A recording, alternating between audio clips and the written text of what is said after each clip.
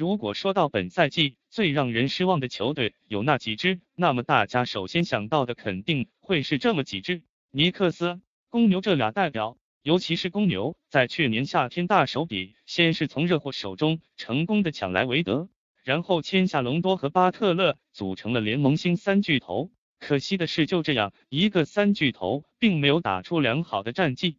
毫不夸张的说，如果不是骑士在赛季末用了阴谋，公牛甚至连进季后赛的资格都没有。所以在被绿军淘汰的那一刻起，公牛就已经开始了他们的重建之路。